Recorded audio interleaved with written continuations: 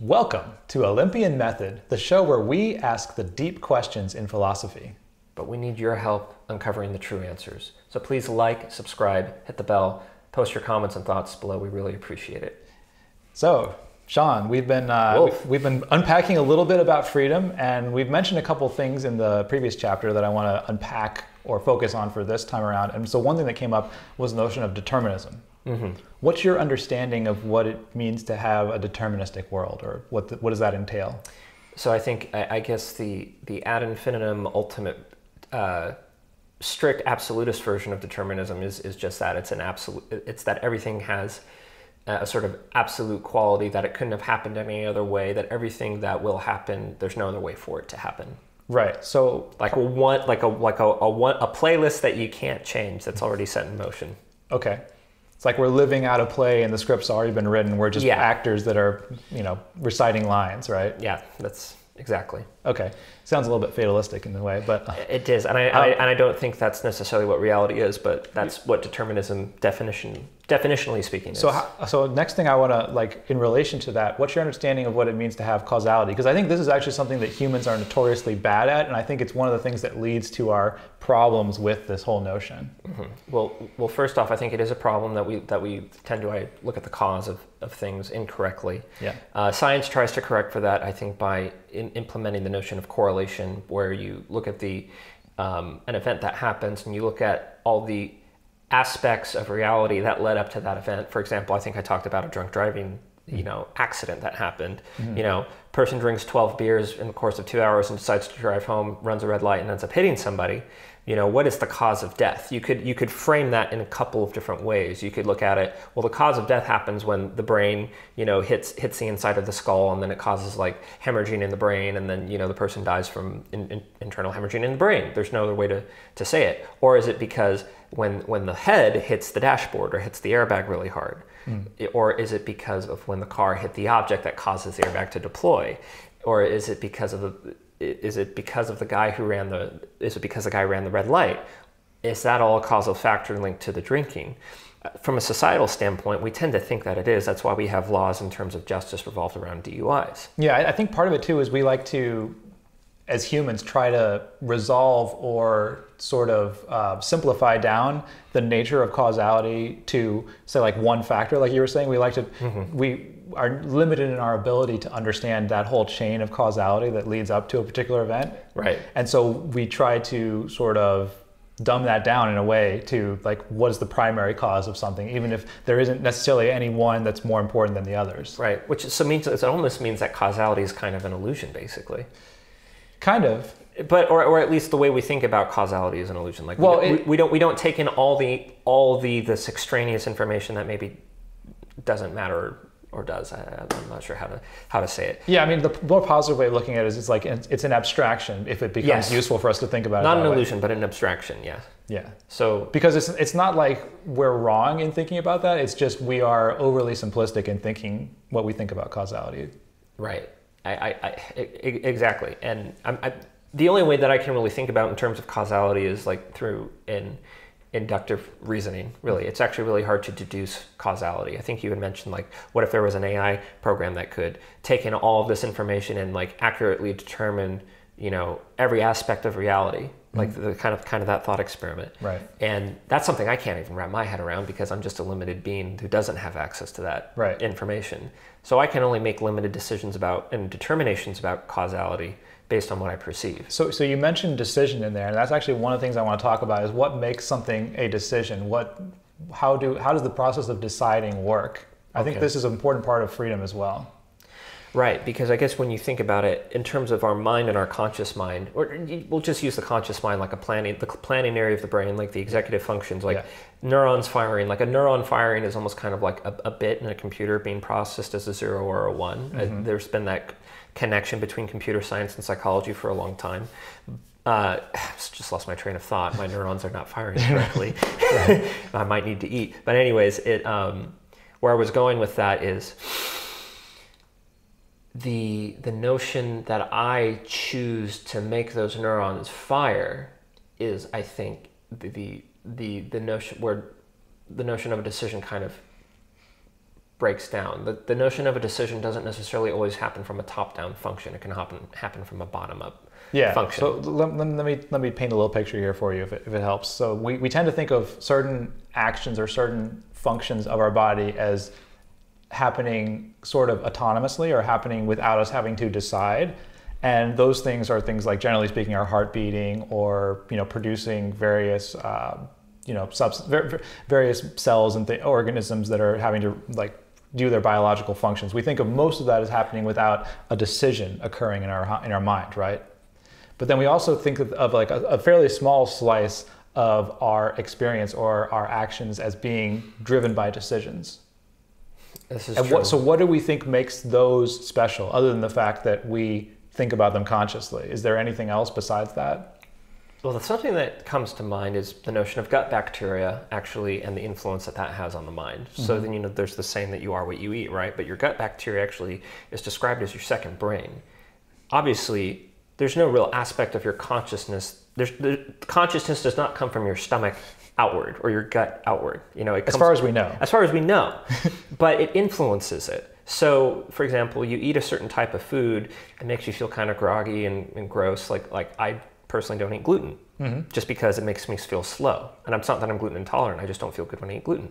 And, and as an example, so it's like I'm conscious of the fact that it makes me feel that way. And so I am now able to make a decision well, I can make a correlation or I can make a causal relation, even if it's not actual causality, but the fact of eating gluten causing me to feel a certain way yeah. leads me to say, well, the next best decision for you to make in terms of your health is to not eat gluten. But then there's also the part of me that's like, but I really, really like cinnamon rolls. So mm. it's like, I really like that taste. So it's like my needs are in conflict. My taste buds are telling me, oh, this is really good. This is sugar. And, and, and, and it's, it's, it's, it gives you energy. It tastes good. Um, but you know, later on in the process when you're digesting, it's, it's, it's taking away your energy. It's actually making you not, not feel as healthy. So there's almost like uh, the conscious decision to, to not or to, to, to eat or not to eat cinnamon rolls? That is the question. That is the question. To be or not to be? That is the question. To eat or not to eat? We should we should add that to our merch line. So, to think or not to think? So good question. Um, Can you choose to think? Can you choose to choose? Let me think about that. Ah. so we just got so meta. I, I want to. I, I, like what you were just saying about the whole notion of having like a, a diet that's sort of choosing it's, it's a, it gets back to the meta once and i'm curious which parts in that chain do you think are decisions is ah. is the is the actual choosing not to eat to eat or not to eat the decision or is the decision about trying to affect the, those other decisions the meta wants about the other desires um again i don't know if i'm choosing to go down this route but i will because i think it's relevant it's yeah. like when you're talking about like depression for example there's an actual measurable difference in serotonin levels and the way that the hormones in the body interact, which is why antidepressants work for some people. Mm-hmm. Uh, they don't work for everyone, but they do work for a lot of people, and they're good. They're a good tool. And what they do is, is it helps regulate the serotonin levels. And obviously, where I'm kind of going with that is, it's like if if you're aware like like I said, like our in the previous chapter, where freedom is limited by our ability to sort of know our environment and interact with our environment. Mm-hmm. Once you consider your biological uh, substructures, like the serotonin structures in your brain, and even the physical structures of the neurons in your brain, as giving you the ability to think, once you become aware of that, it almost becomes a part of your environment, mm. and you can choose to interact with that as if it's something that's outside of yourself, even though it's actually internal. Does that make sense? And I think that's where mindfulness comes into play. So I think that the ability to decide to do that, it, it's really a blurry line. Like, am I choosing to, you know, eat a healthy diet because my mind is already healthy enough to make that decision? Or it, it, the causality loop kind of becomes, but but life is kind of about a series of, of uh, positive feedback loops. Mm. That kind of defines life. Life itself is a positive feedback loop. As soon as life happens, we start reproducing that creates more life more life more life. It, it, it's like to, to those that have everything everything more will be given to those that have nothing that everything will be taken away. Like it's very easy for life to continue to make life and it's almost impossible for something that's not living to become living. Mm-hmm. does that make sense? So our, our, our decisions i think are rooted in our core desire, our core will to live, and all life does this. Like if a tree, for example, is is um, being blocked by by sunlight, it will actually like grow and move to like m- grow into the sunlight. Mm-hmm. And you don't think about plants as having free will, but maybe there's an element of will or some aspect of consciousness that's moving us down that road. Hmm. So, like in my case, like I battled with depression for a long time, and I was like, you know, I self-medicated with things like pot, and and it's like maybe I didn't have a decision on whether I chose to do that, but once I realized, like, hey, this positive feedback loop isn't going where I want it. It's actually starting to cause a negative feedback loop. Like every time I try to smoke now, it's almost like it makes me not want to do it ever again. Now I'm at the point where it's like I really don't feel like I don't really want to do it Yeah. for at least a very, very long time, like years and years. Like I have no desire to go back to it. Mm-hmm. But I think that that decision is fundamentally based off of all the structures in my body kind of working in unison, in harmony, in concert with each other to say, well, that, that wasn't making things better. Meditating every day does make things better. Hmm. So keep doing that. And now I'm in a process where for like the past week, I've more or less been meditating every single day. Mostly about actually about past three days. So Okay. But I think that's kind of where the notion of decision comes in. And I knew that meditation was good for me. This is the part that's crazy. I knew meditation was good for me. I knew pot was smoking bad for a long time, but I continued to, to engage in that positive feedback loop. So when you look at people who have like addictions, I think that's a good case study of, of choice hmm. because you clearly know that drinking until the point you pass out or doing cocaine to the point where you almost have a heart attack is bad for you.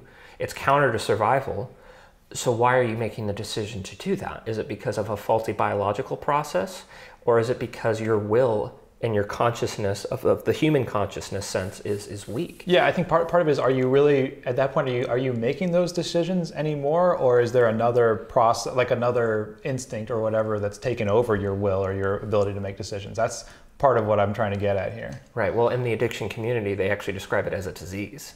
Like it's like a learned process and a learned behavior, and it's a combination of having instant gratification and sort of a, a lack of planning. It actually like separates the outer regions of the brain from the the, the midbrain, the amygdala, the uh, not the nucleus accumbens, all of these things that sort of regulate our our dopamine and our reward system, right? But mm-hmm. you can once you're aware that of how to make those connections. Like I said, it's a part of the environment. Once you become self-aware of that aspect of your structures, it's like a part of your environment. Mm-hmm. You can choose to modify it. So I actually didn't really make strides in my own addiction recovery until I knew that.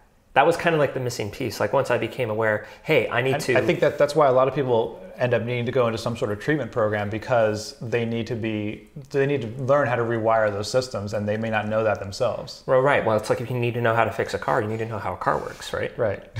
well, do we even really know how we work though? We don't, but we're but the striving to understand how we work, I think, is why science is so important. Right.